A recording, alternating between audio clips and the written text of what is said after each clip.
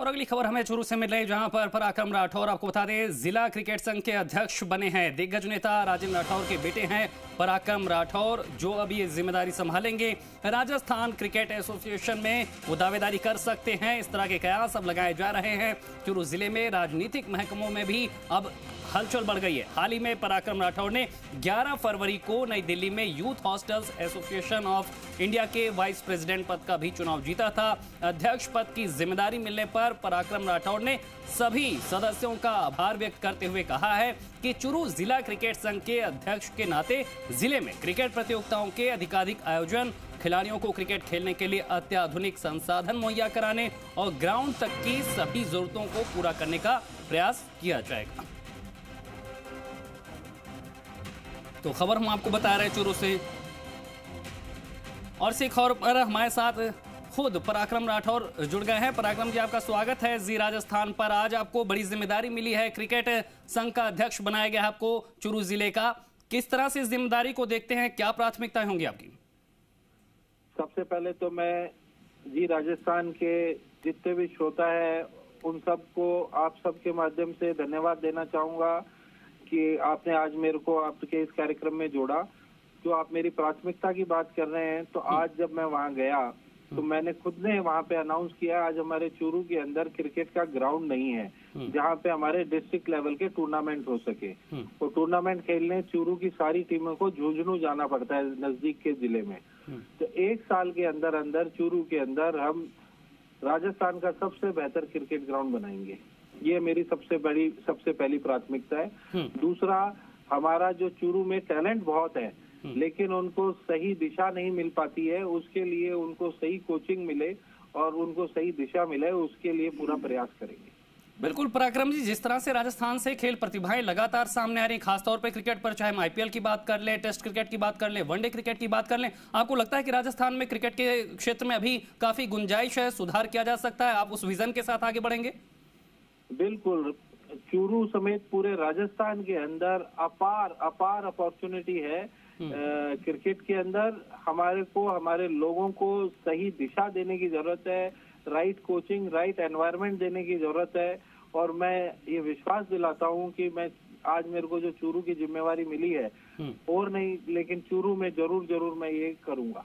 बिल्कुल पराक्रम जी अब कयास ये भी है कि चूरू तो पहला कदम है लेकिन आप पूरे प्रदेश के क्रिकेट प्रतिभाओं को आगे बढ़ाना चाहते हैं उन्हें मौका देना चाहते हैं संसाधनों को यहाँ पर बढ़ाना चाहते हैं तो ऐसे में राजस्थान क्रिकेट एसोसिएशन में भी आपकी दावेदारी मानी जा रही है? देखिए भविष्य अभी गर्भ में है। ये आज मैं इसके ऊपर कुछ टिप्पणी करूँ तो ये ठीक नहीं रहेगा।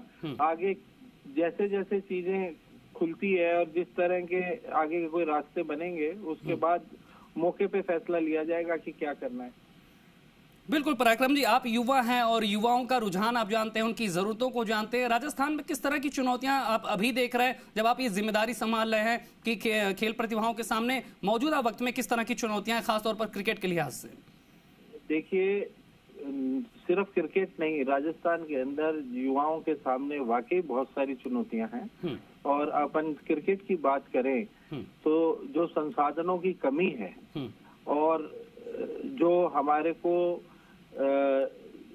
जो पैसा बीसीसीआई से या राजस्थान सरकार से जो मिल रहा है उस पैसे का सदुपयोग हो और उस पैसे का 100 परसेंट रिटर्न निकल के आए उस उस उस तरफ़ हमको सोचना चाहिए।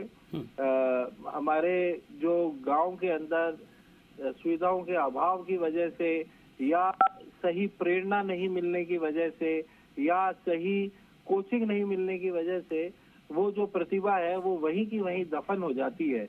उसके ऊपर हम सबको चिंता करनी है और ये ऐसा माहौल यहाँ बनाना है कि जिसके भी सपने हैं उनको हम आकाश दें अपने सपनों को पाने का और उड़ने का।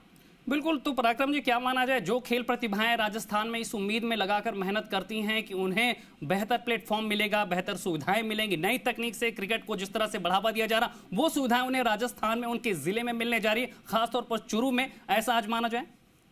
बिल्कुल बिल्कुल। बिल्कुल पराक्रम जी तमाम जानकारी देने के लिए। आज आप आप मे, मे, मेरी तरफ़ से एक दावा ले लीजिए कि आपको बहुत बड़ा बदलाव मिलेगा। आज आज आज जिस जिस तरह की हमारी यहाँ पे राजस्थान में सरकार आई है जो सोच के साथ आई है सरकार का भी साथ लेंगे और हमारे जो पूरे आरसीए के जो लोग हैं हम्म। और जो चूरू जिला के लोग हैं उन सब का साथ लेके और एक बहुत बड़ा बदलाव लाएँगे जिससे राजस्थान क्रिकेट के अंदर भारत के अंदर अग्रणीय राज्यों में आए बिल्कुल पराक्रम जी, हम यही उम्मीद करते हैं कि आपका जो स्पष्ट विजन है युवाओं को आगे बढ़ाने का, क्रिकेट को आगे बढ़ाने का, बेहतर सुविधाएँ देने का, वो राजस्थान के क्रिकेट को आगे ले जाएगा, यहाँ की प्रतिभाओं को आगे ले जाएगा और आपके नेतृत्व में न केवल चुरू बल्कि राजस्थान में जो भी खिलाड़ी हैं वो बेहतर कर पाएँगे। इसी उम्मीद के साथ आपको हम शुभकामनाएँ देते हैं, आपको मिली इस नई ज़िम्मेदारी के लिए, तमाम जानकारी देने के लिए, हमसे बात करने के लिए आपका बहुत बहुत शुक्रिया।